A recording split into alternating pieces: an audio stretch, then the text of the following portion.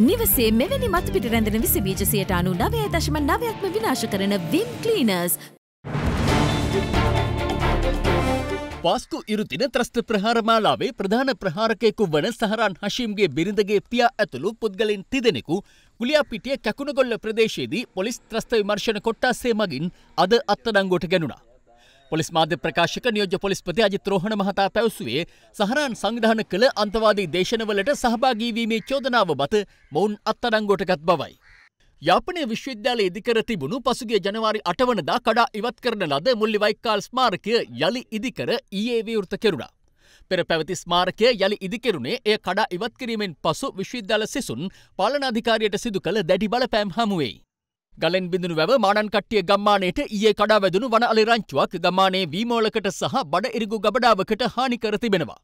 ගොවින් බලධහරින්ගෙන් ඉල්ලා සිටින්නේ විදුලි වැටක් ඉදිකරදී සිය ජීවිත හා භෝග වගා ආරක්ෂා කර දෙන ලෙසයි.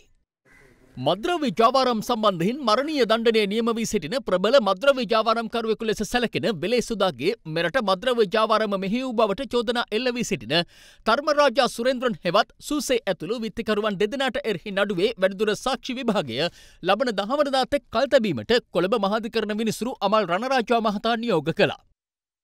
මෙම නඩුව අද විභාගයටගත් අවස්ථාවේදී විත්තිය වෙනුවෙන් පෙනී සිටි හිටපු ආරක්ෂක ලේකම් ජනාධිපති නීතිඥ කපිල වෛද්‍යරත්න මහතා මතු කළ හරස් ප්‍රශ්නවලට පිළිතුරු දුන්නේ මෙම විත්තිකරුවන් අත්අඩංගුවටගත් පොලිස් මද්‍ර විනාශක කාර්යාංශයේ හිටපු පොලිස් පරීක්ෂක නියමාල් රංගජීව මහතායි. යාපනයේ තික්කම් ප්‍රදේශයේ අතුරු මාර්ගයක ටිපරතයක් සහ යතුරු පැදයක් අනතුරට ලක්වන ආකාරය CCTV කැමරාවක මෙලෙස සටහන්ව තිබුණා.